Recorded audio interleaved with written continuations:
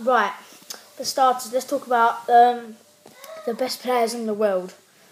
Um, I'd say I would not include Messi because everyone thinks he's so great. And my mate, the Boss Dynamite, make sure you subscribe to him. Yeah, he took a loads of points about Lionel Messi why he should not be in the top 10 players in the world. I know he has good finishes in that, but that's how he hogs the ball. Ronaldo, see him? Passes, little flicks, pass, easy.